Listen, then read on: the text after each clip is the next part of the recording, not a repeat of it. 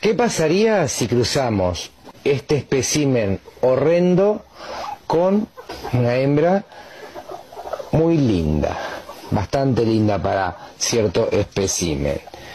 ¿Qué saldría de la cruzada de esos dos? Este.